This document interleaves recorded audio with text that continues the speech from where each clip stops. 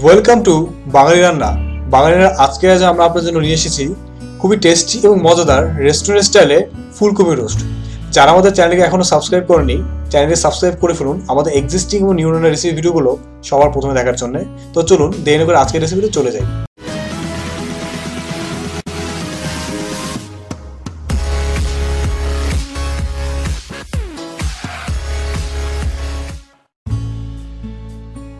এখানে আমরা একটা গোটা ফুলকপি এভাবে কেটে নিয়েছি।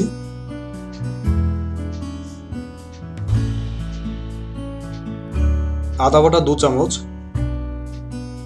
জিরে বাটা দু চামচ, লঙ্কা বাটা দু চামচ, কাজু বাটা দু চামচ, তেজপাতা তিনটে, দারচিনি দুটো, এলাচ তিনটে লঙ্কা গুঁড়ো আধা চামচ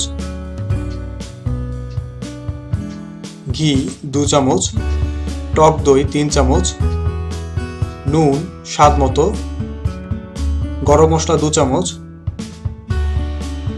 মটরশুঁটি একশো গ্রাম, কাঁচা লঙ্কা তিনটে, আর রয়েছে পরিমত তেল।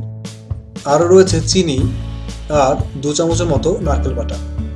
পরিমতো তেল নিয়ে, তেলটা একটু গরম করে নিয়ে আমরা মাঝারি আছে ফুলকপিগুলো ভেজে নেব।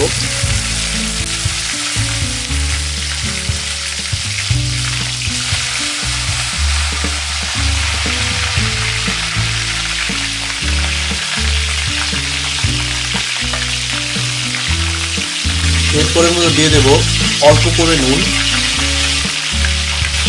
ফুলকপিগুলো ভাজা হতে চার থেকে পাঁচ মিনিটের মতো সময় লাগে। আর এই ফুলকপিগুলো যখন হালকা ব্রাউন কালার হয়ে যাবে, তখন বুঝবেন যে আপনার ফুলকপিগুলো ভালো করে ভাজা হয়ে গিয়েছে।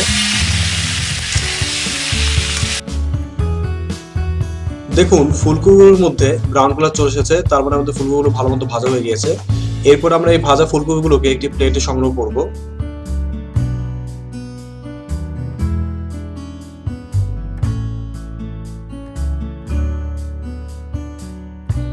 ফুলকপিগুলো ভালো করে ভাজা হয়ে গেলে আমরা আমাদের মশলাগুলো মিডিয়াম আঁচে ভেজে নেব। দিয়ে দেব দু চামচ ঘি। তেজপাতা দুটো, দারচিনির দুটো টুকরো আর তিনটে এলাচ। দিয়ে একটু নাড়িয়ে চালিয়ে দিতে হবে।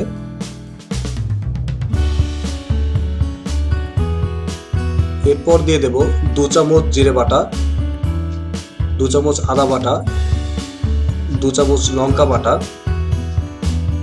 দু চামচ কাজু বাটা। আরও দিয়ে দেব দু চামচ নারকেল বাটা। আর স্বাদ মতো চিনি। এরপরে মিশ্রণটি ভালো করে নাড়িয়ে চাড়ে মিশিয়ে দেব।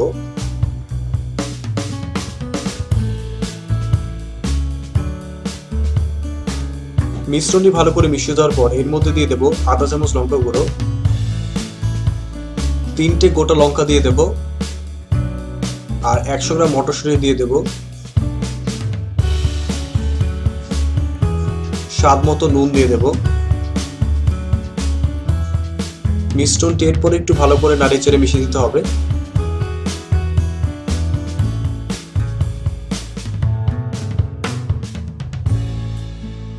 মিশ্রণটি ভালো করে মিশিয়ে দেওয়ার পরে এর মধ্যে দিয়ে দেব তিন চামচের মতো টক দই। অল্প করে জল অ্যাড করার পরে মশলাগুলোকে ভালো করে মিশিয়ে দিয়ে আমরা মশলাগুলোকে ভেজে নেব। ফুলকপি রোস্ট আপনি চাইলে পোলাও ভেজিটেবল রাইস অথবা গুনাখির সাথে খেতে পারেন। এছাড়া ফুলকপির সাথে খেতে খুবই টেস্টি লাগবে। এই রেসিপিগুলোর ভিডিও লিঙ্ক আমরা আমাদের ভিডিওটির নিচে ডিসক্রিপশনে দিয়ে দিয়েছি। আপনারা যারা সেখান থেকে ক্লিক করে দেখে নিতে পারেন। দেখুন, আমাদের বস্তাগুলো ভালো করে ভাজা হয়ে গিয়েছে। এরপর এর মধ্যে আমরা দিয়ে দেবো আমাদের ভেজে রাখা ফুলকপিগুলো। ভাজা মশলাগুলোর সাথে ফুলকপিগুলো ভালো করে মিশিয়ে দিতে হবে।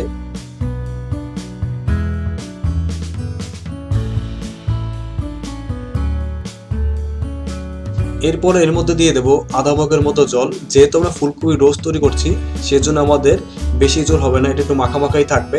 কিন্তু আপনারা যারা ঝোল খেতে পছন্দ করেন, তারা চাইলে একটু জল বেশি অ্যাড করে নিতে পারেন, সেক্ষেত্রে কোনো অসুবিধা নেই। মিশ্রণটি ভালো করে নাড়িয়ে চাড়িয়ে মিশিয়ে দেওয়ার পরে আমরা পাঁচ মিনিট মিডিয়াম আঁচে ঢেকে রাখব।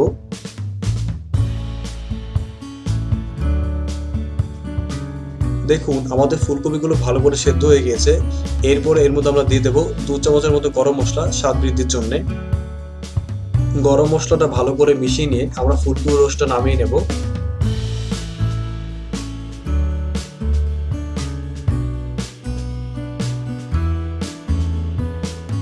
ডিয়ার ভিউয়ার্স হয়ে গেল আপনাদের পছন্দের রেস্টুরেন্ট স্টাইলে ফুলকপি রোস্ট এই রান্নার সেই ভিডিওটি কেমন করে জানাতে অবশ্যই আমাদের ভিডিওটি নিচে কমেন্ট বক্সে কমেন্ট করুন। এবং আমাদের ভিডিওটি যদি ভালো লেগে থাকে, অবশ্যই লাইক দিতে ভুলবেন না। এছাড়া আমাদের ভিডিওটি শেয়ার করুন আমাদের ফ্রেন্ডস এবং ফ্যামিলিদের সাথে। তারা তাদের বাড়িতে এরকম টেস্টি ফুলকপি রোস্ট তৈরি করতে পারে।